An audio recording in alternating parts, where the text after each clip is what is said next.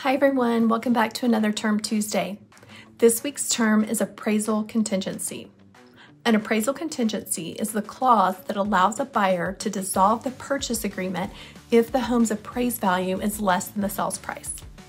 Essentially, it ensures that the buyer is not overpaying for the property.